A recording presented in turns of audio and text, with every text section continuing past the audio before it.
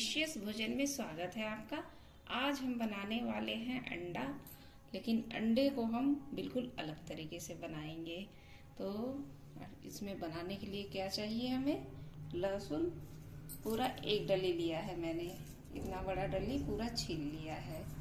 दो टमाटर, प्याज, हरी मिर्च और धनिया। ये सारी सामग्री का हम पेस्ट बनाएँगे। और क्योंकि लाइन नहीं है दोस्तों तो ये सारी सामग्री मैं सील बट्टे पे पीसूँगी। तो मैं पीस कर आपको तब दिखाती हूँ। सारे मसाले मैंने पीस लिया है। गैस को ऑन कर दिया है। कढ़ाई में तेल रख कर रख दिया है गरम होने के लिए। तेल हमारा गरम हो रहा है। देख लेते हैं तेल गरम हुआ है या नहीं।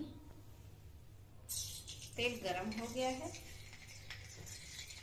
हमें कुछ भी नहीं डालना है तेल में। सीधे ये मसाले जाएँगे। दोस्तों बहुत ही इजी और बहुत सिंपल रेसिपी मैं आप, आपके साथ शेयर कर रही हूँ।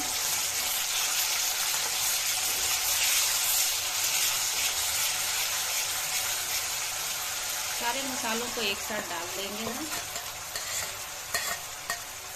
और बिल्कुल लो फ्लेम पे पकाएँगे। तब तक जब तक कि सारे मसाले तेल ना छोड़ दें।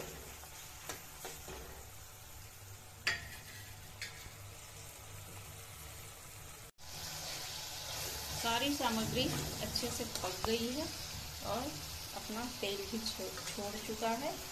अब हम इसी समय क्या करेंगे? ये दो चम्मच दही है। हम दही को ऐड करेंगे। जब हम दही डालेंगे, इसी समय ये धनिया पाउडर है। इसमें हल्दी भी मिला हुआ है, तड़का ही बना है। ये भी हम डाल देंगे। और अच्छे से चलाएँगे, धीरे धीरे। ताकि दही पक जाए और फटने न पाए। पकड़ लेते हैं कढ़ाई को और चलाते हुए पकाएँगे। मसाले हमारे पक गए हैं। अब हम क्या करेंगे कि अंडे भी डाल देंगे। अंडों को थोड़ा मसाले के साथ हम पकाएँगे।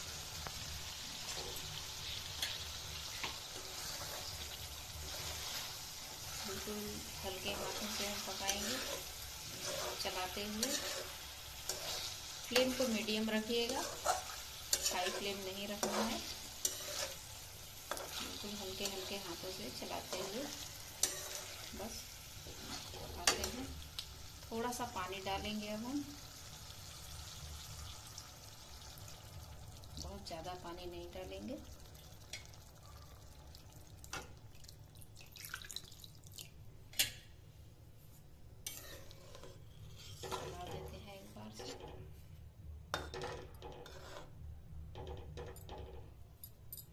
इसी समय हम नमक भी डाल देते हैं।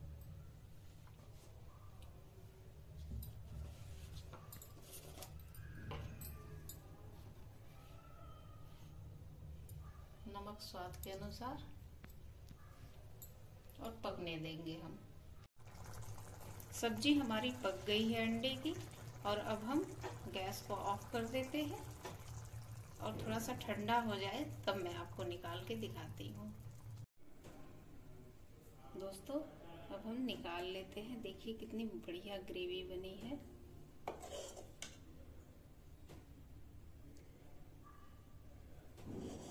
मैंने निकाल लिया है प्लेट में। और थोड़ी सी धनिया की गार्निशिंग कर देते हैं हम। और थोड़ा सा हम किनारे से इस तरह से लाल मिर्च पाउडर डाल देंगे।